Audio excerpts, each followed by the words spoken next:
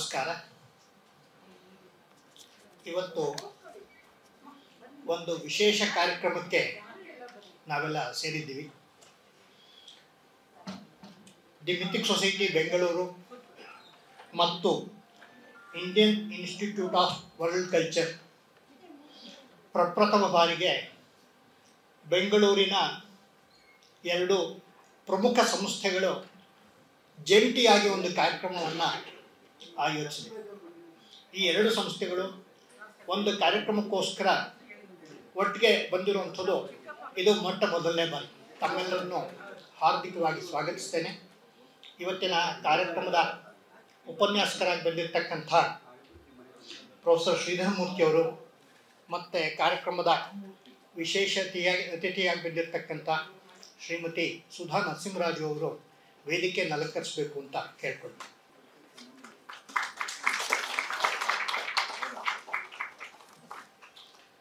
ಈ ಕಾರ್ಯಕ್ರಮಕ್ಕೆ ಉಪನ್ಯಾಸಕರಾಗಿ ಬಂದಿರತಕ್ಕಂಥ ಹಿರಿಯ ಪತ್ರಕರ್ತರು, ಪತ್ರಿಕೋದ್ಯಮದಲ್ಲಿ ಮತ್ತು ಯುವ ಪತ್ರಿಕಾಕರ್ತರನ್ನು ತಯಾರು ಮಾಡ್ತಿರ್ತಕ್ಕಂಥ ಕನ್ನಡದಲ್ಲಿ ಆಡು ಭಾಷೆಯಲ್ಲಿ ಇರಬೇಕು ಅಂದರೆ ಪತ್ರಿಕೋದ್ಯಮದ ಮೇಷ್ಟ್ರು ಶ್ರೀಧರ್ಮೂರ್ತಿ ಅವರು ಇವತ್ತು ಬಂದಿದ್ದಾರೆ. ಅವರಿಗೆ ತಮ್ಮೆಲ್ಲರ ಪರವಾಗಿ ಆಗ್ರಹ ಸ್ವಾಗತವನ್ನು ಹಾಗೆಯೇ ಇವತ್ತಿನ ದಿನ ಇಲ್ಲಿ ಕೂತಿರುವಂಥದ್ದು ನೋಡಿದರೆ ಎಲ್ಲರೂ ಅರವತ್ತು ಎಪ್ಪತ್ತನೇ ದಶಕಗಳಲ್ಲಿ ಅತಿ ಹೆಚ್ಚು ಸಿನಿಮಾ ನೋಡಿದ್ರು ಅಂತ ಅನಿಸುತ್ತೆ. ನಮ್ಮೆಲ್ಲರ ಆರಾಧ್ಯ ಹಾಸ್ಯ ನಟ ನರಸಿಂಹರಾಜು ಅವರ ಪುತ್ರಿ ಶ್ರೀಮತಿ ಸುಧಾ ನರಸಿಂಹರಾಜು ಅವರು ನಮ್ಮ ಮಧ್ಯೆ ಇದ್ದಾರೆ ಅವರು ಈ ಕಾರ್ಯಕ್ರಮಕ್ಕೆ ಬಂದು ಕಾರ್ಯಕ್ರಮದ ಮಹತ್ವವನ್ನು ಇನ್ನೆಚ್ಚು ಹೆಚ್ಚಿಸಿದ್ದಾರೆ. ಅವ್ರಿಗೂ ಕೂಡ ಆದರ್ದ ಸ್ವಾಗತವನ್ನು ಬಯಸ್ತಾರೆ ಮಿಥಿಕ್ ಸೊಸೈಟಿ ಬಗ್ಗೆ ಒಂದೆರಡು ಮಾತು ಹೇಳಬೇಕು ಅಂದರೆ, ನೂರ ಹದಿಮೂರು ವರ್ಷಗಳ ಹಿಂದೆ, ಸಾವಿರದ ಒಂಬೈನೂರ ಒಂಬತ್ತರಲ್ಲಿ ಬೆಂಗಳೂರಲ್ಲಿ ಎರಡು ಪ್ರಮುಖ ಸಂಸ್ಥೆಗಳು ಒಂದೇ ದಿನ, ಒಂದೇ ತಿಂಗಳು, ಒಂದೇ ವರ್ಷ ಪ್ರಾರಂಭ ಆಯಿತು. ಒಂದು ಟಾಟಾ ಇನ್ಸ್ಟಿಟ್ಯೂಟ್, ಇನ್ನೊಂದು ದಿ ಮಿಥಿಕ್ ಸೊಸೈಟಿ ಎರಡು ಸಾವಿರದ ಒಂಬೈನೂರ ಒಂಬತ್ತರಲ್ಲಿ ಒಂಥರ ನಾವು ಮಹಾರಾಜರ ಕೃಪಾಶ್ರಯದಲ್ಲೇ ಪ್ರಾರಂಭ ಆಯಿತು ಅಂತ ಹೇಳೋದರಲ್ಲಿ ಏನು ಅತಿಶಯೋಕ್ತಿ ಇಲ್ಲ ಅನಿಸುತ್ತೆ. ಸಾವಿರದ ಒಂಬೈನೂರ ಒಂಬತ್ತರ ಇನ್ನೊಂದು ಇವೆರಡರ ಮಧ್ಯೆ ಸಂಬಂಧನೂ ಇತ್ತು. ಮಿಥಿಕ್ ಸೊಸೈಟಿಯ ಮೊದಲನೇ ಅಧ್ಯಕ್ಷರು ಡಾಕ್ಟರ್ ಟ್ರಾವರ್ಸ್. ಹಾಗೆಯೇ ಟಾಟಾ ಇನ್ಸ್ಟಿಟ್ಯೂಟಿನ ಮೊದಲ ಡೈರೆಕ್ಟರ್ ಒಬ್ಬರೇ ಹಾಗಾಗಿ ಮಿಥಿಕ್ ಸೊಸೈಟಿ ಮತ್ತು ಟಾಟಾ ಇನ್ಸ್ಟಿಟ್ಯೂಟ್ ತುಂಬ ಹಳೆಯ ಪ್ರಸಿದ್ಧ ಬೆಂಗಳೂರಿನ ಸಂಸ್ಥೆಗಳು. ಟಾಟಾ ಇನ್ಸ್ಟಿಟ್ಯೂಟ್ ಸೈನ್ಸಲ್ಲಿ ಫಂಡಮೆಂಟಲ್ ಸೈನ್ಸ್ ರಿಸರ್ಚ್ಗೋಸ್ಕರ ಪ್ರಾರಂಭ ಆದರೆ ಇತಿಹಾಸದ ಬಗ್ಗೆ ರಿಸರ್ಚ್ ಮಾಡಬೇಕು, ಹೆಚ್ಚು ಕೆಲಸ ಮಾಡಬೇಕು ಅಂಥೇಳಿ ಮಿಥಿಕ್ ಸೊಸೈಟಿ ಕೆಲ್ ಪ್ರಾರಂಭ ಆಯಿತು. ಹೀಗಾಗಿ ಮಿಥಿಕ್ ಸೊಸೈಟಿ ಕಳೆದ ನೂರ ಹದಿಮೂರು ವರ್ಷಗಳಿಂದ ನಗರದ ಕೇಂದ್ರ ಭಾಗ ರಿಸರ್ವ್ ಬ್ಯಾಂಕ್ ಎದುರುಗಡೆ ಕೆ ಆರ್ ರೋಡಲ್ಲಿ ನೃತ್ಯುಂಗ ರೋಡಲ್ಲಿ ಕೆಲಸ ಮಾಡ್ತಾ ಇದೆ. ಅದು ಇತಿಹಾಸಕ್ಕೆ ತಂದೆ ಆದಂಥ ಇತಿಹಾಸದ ಸಂಶೋಧನೆ ಮತ್ತು ಪ್ರಚಾರದ ವಿಷಯದಲ್ಲಿ ತಂದೆ ಆದಂಥ ಕೆಲಸ ಮಾಡ್ತಾ ಇದೆ.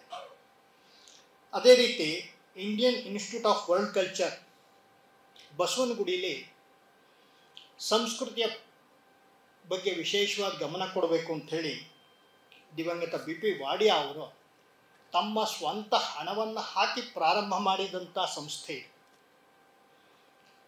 ಹಾಗಾಗಿ ಅನೇಕ ಸುಮಾರು ಎಪ್ಪತ್ತೇಳು, ಎಪ್ಪತ್ತೆಂಟು ವರ್ಷಗಳಿಂದ ಮತ್ತು ಇಲ್ಲೂ ಇನ್ನೊಂದು ವಿಶೇಷ ಇದೆ. ಇದು ಮತ್ತು ಗೋಖಲೆ ಇನ್ಸ್ಟಿಟ್ಯೂಟ್ ಒಟ್ಟಿಗೆ ಶುರುವಾಗಿತ್ತು ಎನ್ ಆರ್ ಕಾಲೋನಿಯ ಗೋಖಲೆ ಇನ್ಸ್ಟಿಟ್ಯೂಟ್ ಮತ್ತು ವರ್ಲ್ಡ್ ಕಲ್ಚರ್ ಒಟ್ಟಿಗೆ ಪ್ರಾರಂಭ ಆಯಿತು. ಆಗಲಿಂದನೂ ತನ್ನದೇ ಆದಂಥ ಕೊಡುಗೆಯನ್ನು, ವಿಶೇಷವಾಗಿ ಸಂಸ್ಕೃತಿಯನ್ನು ಬೆಳೆಸೋ ದೃಷ್ಟಿಯಲ್ಲಿ ವರ್ಲ್ಡ್ ಕಲ್ಚರ್ ತನ್ನ ಕೊಡುಗೆಯನ್ನು ಕೊಡ್ತಾ ಬಂದಿದೆ.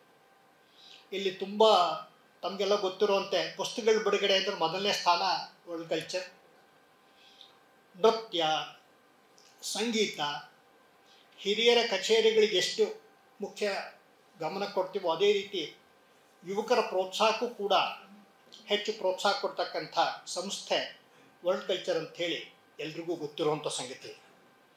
ಈ ಎರಡೂ ಸಂಸ್ಥೆಗಳು ಒಟ್ಟಿಗೆ ಬಂದು ಇವತ್ತಿನ ದಿನ ಈ ಕಾರ್ಯಕ್ರಮವನ್ನು ಹಮ್ಮಿಕೊಂಡಿದೆ. ಡಿ ವಿ ಜಿ ಅವರು ಒಂದ್ಸರಿ ಹೇ, ಒಂದು ಕಡೆ ಹೇಳ್ತಾರೆ, ನಗು ಸಹಜದ ಧರ್ಮ, ನಗಿಸುವುದು ಪರಧರ್ಮ. ನಗುವ ಕೇಳುತ್ತ, ನಗುವುದು ಅತಿಶಯದ ಧರ್ಮ. ನಗುವ, ನಗಿಸುವ, ನಗು, ನಗಿಸಿ ನಗುತ ಬಾಳುವ. ವರವ ಮಿಗೆ ನೀನು ಬೇಡಿಕೊಳ್ಳೋ ಮಂಕುತಿಮ್ಮ ಅಂತ ಹೇಳಿ. ಅಂದರೆ ನಗುವಿನ ಮಹತ್ವ ಡಿ ವಿ ಜಿಯವರ ಮಂಕುತಿಮ್ಮನ ಕೆಗ್ಗದಲ್ಲಿ ಈ ರೀತಿ ಹೊರಗೆ ಬಂದಿದೆ.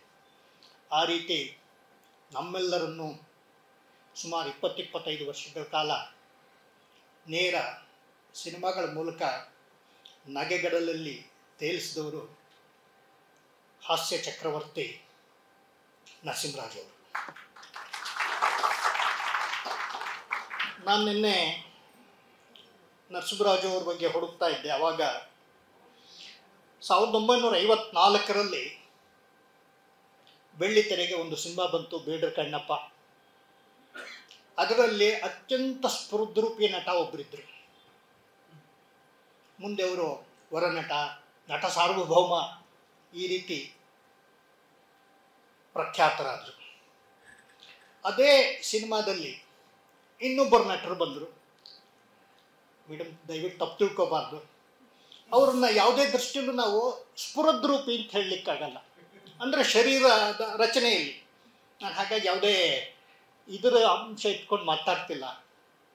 ಆದರೆ ವರ್ಣಟ ರಾಜ್ಕುಮಾರ್ ಎಷ್ಟು ಎತ್ತರಕ್ಕೆ ಬೆಳೆದ್ರೋ ಅಷ್ಟೇ ಎತ್ತರಕ್ಕೆ ಸರಿಸಮನಾಗಿ ಬೆಳೆದಂಥ ಮಹಾಪುರುಷ ನರಸಿಂಹರಾಜ ಎಷ್ಟು ಮಟ್ಟಿಗೆ ಅಂದರೆ ನನ್ನ ಹೆಂಡತಿ ನನಗೆ ಜ್ಞಾಪಿಸ್ತಾ ಇದ್ಲು. ರಾಜ್ಕುಮಾರ್ ಅವ್ರನ್ನ ಕಾಲ್ ಶೀಟ್ ಕೇಳಿದರೆ ಮೊದಲು ನರಸಿಂಹರಾಜು ಅವ್ರು ತೊಗೊಂಬಿಡ್ರಪ್ಪ ಅವ್ರು ಸಿಗೋದು ಕಷ್ಟ, ಅವ್ರು ಸಿಗಲಿ ನಾನು ಕೊಟ್ಬಿಡ್ತೀನಿ ಅಂತ ಹೇಳೋರು ಅಂತ. ಅಂದರೆ ಆ ಮಟ್ಟಕ್ಕೆ ಈ ಇಬ್ಬರೂ ನಾಯಕರು ಬೆಳೆದ್ರು. ಆ ಇಬ್ಬರು ಬಂದಂಥ ಮೊದಲನೇ ಸಿನಿಮಾ ಸಾವಿರದ ಒಂಬೈನೂರ ಐವತ್ನಾಲ್ಕರ ಬೇಡ್ರ ಕಣ್ಣಪ್ಪ. ಈ ರೀತಿ ಬೇಡ್ರ ಕಣ್ಣಪ್ಪ ಇಂದ ಇಬ್ಬರು ಕೂಡ ಬೆಳ್ಳಿತೆರೆಗೆ ಪರಿಚಯ ಆದರು. ಕರ್ನಾಟಕದ ರಸಿಕರ, ಶಿರೋಮಣಿಗಳಾದರು. ಮತ್ತು ಅದರ ಜೊತೆಗೇನೆ ಇವರು ಅಲ್ಲಿ ಒಟ್ಟಿಗೆ ಅಲ್ಲೇ ಎಲ್ಲ ಕೆಲಸ ಮಾಡಿದ್ದು. ಅದಕ್ಕೆ ಮುಂಚೆಯಿಂದನೂ ಗುಬ್ಬಿ ವೀರಣ್ಣನವರ ಚನ್ನಬಸವೇಶ್ವರ ಚನ್ನಬಸವೇಶ್ವರ ನಾಟಕ ಕಂಪನಿಲಿ ಇಬ್ಬರು ಕಲಾವಿದರ ಕೆಲಸ ಮಾಡ್ತಾಯಿದ್ರು ಹಾಗಾಗಿ ಇಬ್ಬರಿಗೂ ಪರಸ್ಪರ ಹೊಸದೇನಲ್ಲ. ನರಸಿಂಹರಾಜು ಬಗ್ಗೆ ಯೋಚನೆ ಮಾಡಿದ್ರೆ ನಾನು ಜಾಸ್ತಿ ಮಾತಾಡ್ಲಿಕ್ಕೆ ಹೋಗಲ್ಲ ಯಾಕೆಂದರೆ ಶ್ರೀಧರ್ ಮೂರ್ತಿ ಅವರಿದ್ದಾರೆ ಅದ್ರ ಬಗ್ಗೆ ಹೆಚ್ಚು ಮಾತಾಡಲಿಕ್ಕೆ. ನರಸಿಂಹರಾಜು ಅವ್ರ ಬಗ್ಗೆ ನಾವು ಯೋಚನೆ ಮಾಡ್ತಾ ಹೋದರೆ, ಇದು ನರಸಿಂಹರಾಜು ಅವರು ಹುಟ್ಟಿದ್ದು ತಿಪ್ಟೂರು ನಾಲ್ಕನೇ ವರ್ಷಲ್ಲೇ ಅವರಿಗೆ ರಂಗಭೂಮಿಯ ಪರಿಚಯ ಆಯಿತು, ಅಲ್ಲಿ ಅವರ ಕೆಲಸ ಪ್ರಾರಂಭ ಆಯಿತು. ಅವರು ಶೈಕ್ಷಣಿಕ ವಿದ್ಯಾಭ್ಯಾಸ ಯಾವ ರೀತಿ ಆಯಿತು ಅಂತ ನನಗೆ ಗೊತ್ತಿಲ್ಲ. ಅದನ್ನು ಮೇಡಮ್ ಅವರೇ ತಿಳಿಸ್ಬೇಕು. ಆದರೆ ರಂಗಭೂಮಿಯಲ್ಲಿ ಅತ್ಯಂತ ಪಳಗಿದ ನಟನಾಗಿ ನರಸಿಂಹರಾಜು ಬೆಳೆದು ಬಂದರು ಬಾಲಕೃಷ್ಣ, ಪ್ರಹ್ಲಾದ ಈ ರೀತಿ ಬೇರೆ ಬೇರೆ ಪಾತ್ರಗಳನ್ನು ಅವರು ಮಾಡ್ತಿದ್ರು ಅಂಥೇಳಿ ಗೊತ್ತಾಗತ್ತೆ. ಗುಬ್ಬಿ ವೀರಣ್ಣ ಅವ್ರ ಕಂಪನಿ ಮುಂಚೆನೆ ಅನೇಕ ಕಂಪನಿಗಳಲ್ಲಿ ಅವ್ರು ಕೆಲಸ ಮಾಡಿದ್ರು. ತಾವೇ ಸ್ವತಃ ಒಂದು ಗುಂಪನ್ನು ತಯಾರು ಮಾಡಿ ಅದ್ರ ಮೂಲಕನೂ ಅವರು ಕೆಲಸ ಮಾಡಿದಂಥದ್ದು ನಮಗೆ ಕಂಡು ಬರುತ್ತೆ. ಅದಾದ ನಂತರ ಅವರು ಸಾವಿರದ ಒಂಬೈನೂರ ಐವತ್ನಾಲ್ಕರಲ್ಲಿ ಏನು ತೆರೆ, ಬೆಳ್ಳಿ ತೆರೆಗೆ ಬಂದರು. ಅಲ್ಲಿಂದ ಆಚೆಗೆ ಅವರು ಬೆಳ್ಳಿ ತೆರೆಯಲ್ಲಿ ಅತ್ಯಂತ ಉನ್ನತವಾದಂಥ ಸ್ಥಾನಗಳನ್ನು ಅಲಂಕರಿಸ್ತಾ ಹೋದರು. ಆದರೆ ಅವರು ರಂಗಭೂಮಿಯನ್ನು ಮರೀಲಿಲ್ಲ ಜೊತೆ ಜೊತೆಗೆ ರಂಗಭೂಮಿಯಲ್ಲಿ ಅಭಿನಯವೂ ಕೂಡ ಮುಂದುವರಿತು ಅಂತ ನಮಗೆ ಗೊತ್ತಾಗುತ್ತೆ. ಸಾವಿರದ ಒಂಬೈನೂರ ಅರವತ್ತು ಮತ್ತು ಎಪ್ಪತ್ತರ ದಶಕಗಳಲ್ಲಿ ಅತ್ಯಂತ ಪ್ರಸಿದ್ಧ ಮತ್ತು ಬೇಡಿಕೆಯಲ್ಲಿದ್ದಂಥ ನಟರು ಅಂದರೆ ನಮಗೆ ಗೊತ್ತಿರೋ ರೀತಿ ಒಂದು ಡಾಕ್ಟರ್ ರಾಜ್ಕುಮಾರ್ ಮತ್ತು ಅವರ ಸರಿಸಮನಾಗಿ ನರಸಿಂಹರಾಜು ಅವರು. ನಾನು ಸಾವಿರದ ಒಂಬೈನೂರ ಅರವತ್ತಲ್ಲಿ ಹುಟ್ಟಿದ್ದು. ಹಾಗಾಗಿ ನಾನು ನಟಿಗೆ ಸಿನಿಮಾಗಳು ನೋಡ್ಕೊಂಡು ಬಂದಿದ್ದೆಲ್ಲ ನರಸಿಂಹರಾಜು ಡಾಕ್ಟರ್ ರಾಜ್ಕುಮಾರ್ ಅವ್ರದ್ದೇನೆ. ಎಪ್ಪತ್ತೈದು, ಎಪ್ಪತ್ತಾರು, ಎಂಬತ್ತರವರೆಗೂ ಸಿನಿಮಾಗಳು ಹೆಚ್ಚು ನೋಡುವಂಥ ಅಭ್ಯಾಸ ಇತ್ತು. ಅದಾದಮೇಲೆ ಅಭ್ಯಾಸ ಕಮ್ಮಿ ಆಯಿತು. ಹಾಗಾಗಿ ನಾನು ನೋಡುವಂಥ ಹೆಚ್ಚು ಸಿನಿಮಾಗಳು ಡಾಕ್ಟರ್ ರಾಜ್ಕುಮಾರ್ ಮತ್ತು ನರಸಿಂಹರಾಜು ಅವ್ರದ್ದೇ. ಇಲ್ಲಿ ಕೂತಿರುವಂಥ ಅನೇಕರದ್ದು ಅನುಭವ ಅದೇ ಅಂತ ನಾನು ಭಾವಿಸ್ತೇನೆ. ಮತ್ತು ನರಸಿಂಹರಾಜು ಅವ್ರಿಗೆ ಬಗ್ಗೆ ಯೋಚನೆ ಮಾಡ್ತಾ ಹೋದಾಗ ಚಾರ್ಲಿ ಚಾಪ್ಲಿನ್ ಅವರಿಂದ ಹೆಚ್ಚು ಪ್ರಭಾವಿತರಾಗಿದ್ದರು ಅಂತೇಳಿ ಗೊತ್ತಾಗತ್ತೆ. ನಿಜಕ್ಕೂ ಕರ್ನಾಟಕಕ್ಕೆ ಅವರು ಚಾರ್ಲಿ ಚಾಪ್ಲಿನ್ ಆದರು ಅನ್ನೋದರಲ್ಲಿ ಯಾವುದೇ ಸಂದೇಹ ಇಲ್ಲ. ಮತ್ತು ಪ್ರಾಯಶಃ ಅವರು ಯಾವುದಾದ್ರು ಇಂಗ್ಲೀಷ್ ಈ ಥರದ ಭಾಷೆಗಳಲ್ಲಿದ್ದರೆ ಜಗದ್ವಿಖ್ಯಾತರಾಗಿ ಆಗ್ತಿದ್ರು ಅಂತಲೂ ಅನಿಸುತ್ತೆ. ಕನ್ನಡ ಭಾಷೆ ಕರ್ನಾಟಕಕ್ಕೂ ಸೀಮಿತವಾಗಿರೋದ್ರಿಂದ ಅವರು ಹೊರಗಡೆ ಮತ್ತು ಈಗಿನ ರೀತಿ ಹೆಚ್ಚು ಪ್ರಚಾರ ಮತ್ತು ಆಧುನಿಕ ಸೌಲಭ್ಯಗಳು ಇಲ್ಲದೆ ಇದ್ದಿದ್ದರಿಂದ ಹೊರಭಾಗದಲ್ಲಿ ಅವರು ಹೆಚ್ಚು ಪ್ರಸಿದ್ಧರಾಗಲಿಲ್ಲ ಅಂಥೇಳಿ ನನಗನ್ಸತ್ತೆ ಅವರ ಸಿನಿಮಾಗಳ ಏನು ಅವರ ನಾ ಅದು ಅವ್ರು ಮಾಡಿದಂಥ ಹಾಸ್ಯದ ಪಾತ್ರಗಳಿದೆ ಯಾವತ್ತೂ ಮರೀಲಿಕ್ಕೆ ಸಾಧ್ಯ ಇಲ್ಲ. ಈಗಲೂ ನಾನು ಅವರ ಸಿನಿಮಾಗಳನ್ನು ಜ್ಞಾಪಿಸ್ಕೊಂಡ್ರೆ ತಕ್ಷಣ ಜ್ಞಾಪಕ ಬರುವಂಥದ್ದು Ratnamanjari school master ಬಾಲ್ನಾಗಮ್ಮ Satya Harishchandra professor Huchuraya ಈ ರೀತಿ ಅನೇಕ ಸಿನಿಮಾಗಳು ನಮ್ಮ ಕಣ್ಮುಂದೆ ಬರ್ತಾ ಹೋಗುತ್ತೆ. ಮತ್ತು ಬಾಲಕೃಷ್ಣ ಮತ್ತು ನರಸಿಂಹರಾಜ್ ಅವ್ರದ್ದು ಅತ್ಯುತ್ತಮ ಜೋಡಿ. ಇಷ್ಟೆಲ್ಲ ಸಾವಿರದ ಒಂಬೈನೂರ ಐವತ್ನಾಲ್ಕರಿಂದ ಸಿನಿಮಾ ಲೋಕಕ್ಕೆ ಬಂದು ಸುಮಾರು ಇಪ್ಪತ್ತೈದು ವರ್ಷಗಳ ಕಾಲ, ಸಾವಿರದ ಒಂಬೈನೂರ ಎಪ್ಪತ್ತೊಂಬತ್ತರವರೆಗೂ ಅವರು ಸಕ್ರಿಯವಾಗಿ ಅನೇಕ ಸಿನಿಮಾಗಳನ್ನು ಭಾಗವಹಿದ ಅಭಿನಯ ಮಾಡಿ ಅವರ ಒಂದು ಛಾಪನ್ನು ಮೂಡಿಸಿ ಹೋಗಿದ್ದಾರೆ ಅಂತ ಹೇಳೋದ್ರಲ್ಲಿ ಯಾವುದೇ ಆಶ್ಚರ್ಯ ಇಲ್ಲ. ನಮ್ಮೆಲ್ಲರ ದುರಾದೃಷ್ಟ. ಅವರ ಐವತ್ತೈದನೇ ವಯಸ್ಸಲ್ಲೇ ಸಾವಿರದ ಒಂಬೈನೂರ ಎಪ್ಪತ್ತೊಂಬತ್ತರಲ್ಲಿ ನರಸಿಂಹರಾಜು ಅವರು ನಮ್ಮನ್ನು ಅಗಲಿದ್ರು. ಇವತ್ತು ಈ ಜುಲೈ ಇಪ್ಪತ್ನಾಲ್ಕಕ್ಕೆ ಅವರಿಗೆ ಶತಮಾನೋತ್ಸವ. ಇಂಥ ಸಮಯದಲ್ಲಿ ಮತ್ತೊಮ್ಮೆ ಅವ್ರನ್ನ ಜ್ಞಾಪಿಸ್ಕೋಬೇಕು. ನಮ್ಮ ಗೌರವವನ್ನು ಅರ್ಪಿಸಬೇಕು ಅನ್ನೋ ದೃಷ್ಟಿಯಿಂದ ಈ ಕಾರ್ಯಕ್ರಮವನ್ನು ಹಮ್ಮಿಕೊಳ್ತು. ಈ ಕಾರ್ಯಕ್ರಮ ಪ್ರಾರಂಭದಲ್ಲಿ ಮಿತಿಕ್ ಸುಸ್ಥಿತಿಯಲ್ಲಿ ಮಾಡಬೇಕು ಅಂತ ಅಂದ್ಕೊಳ್ತು ಅದಾದ ನಂತರ ವರ್ಲ್ಡ್ ಕಲ್ಚರಲ್ಲೂ ಮಾಡಬೇಕು ಅನ್ನೋ ಯೋಚನೆ ಬಂದಿದ್ದರಿಂದ ಇಬ್ಬರೂ ಸೇರಿ ಒಟ್ಟಿಗೆ ಮಾಡೋಣ ಇಲ್ಲಿ ಅಂಥೇಳಿ ನಿಶ್ಚಯ ಮಾಡಿ ಇವತ್ತಿನ ಈ ಕಾರ್ಯಕ್ರಮ ಪ್ರಾರಂಭ ಆಗಿದೆ.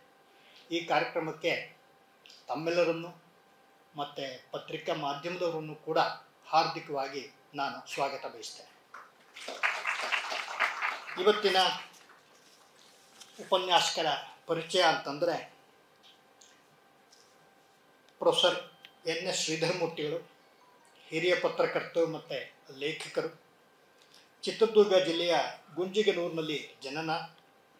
ಅದಾದ ನಂತರ ಮಂಗಳೂರು ವಿಶ್ವವಿದ್ಯಾಲಯದಲ್ಲಿ ಎಂ ಎ, ಎಕನಾಮಿಕ್ಸ್ ಅನ್ನು ಪೂರ್ಣ ಮಾಡ್ತಾರೆ. ಅದಾದ ನಂತರ ಕಾರ್ಪೊರೇಟ್ ಜಗತ್ತಲ್ಲಿ ಅನೇಕ ವರ್ಷಗಳ ಕಾಲ ಕೆಲಸ ಮಾಡ್ತಾರೆ. ಪ್ರಮುಖವಾಗಿ ಗ್ಲೋಬಲ್ ಟೈಮ್ಸ್ ಟೈಟಾನ್ ವಾಚಸ್ ಇತ್ಯಾದಿ ಸಂಸ್ಥೆಗಳಲ್ಲಿ ಕೆಲಸ ಮಾಡಿ. ಅದಾದ ನಂತರ ಅನಿರೀಕ್ಷಿತವಾಗಿ ಪತ್ರಿಕೋದ್ಯಮಕ್ಕೆ ಪಾದಾರ್ಪಣೆ ಮಾಡ್ತಾರೆ.